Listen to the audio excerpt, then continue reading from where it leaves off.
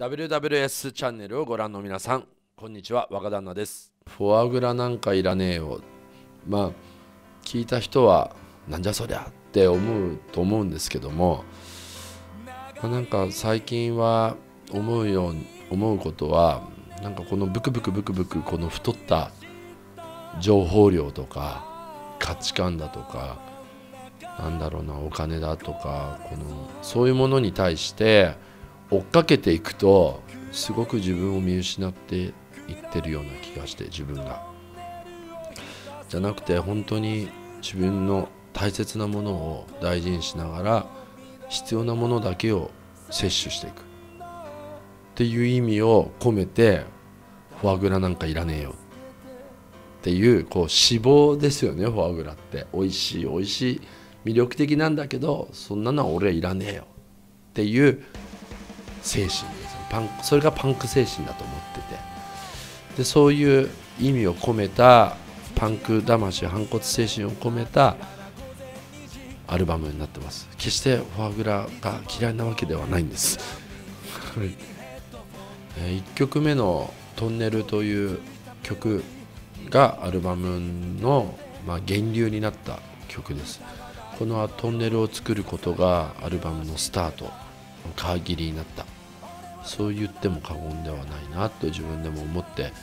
もうこれが川でいうと何ですか雨が溜まってその山のどっか一滴一滴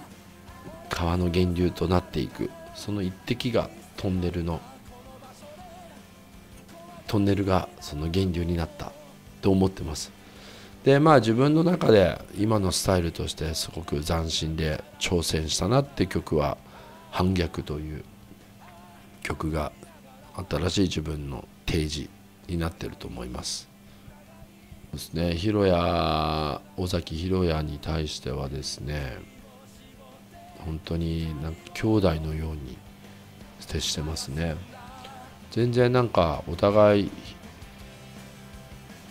肩意地張らず向こうもなんか俺先輩なんですけど旦那旦那って言ってタメ語だし俺もなんかヒロやヒロやって言って、うん、近所の年下のずっとついてくる兄弟みたいな感じをしてましたね。今でも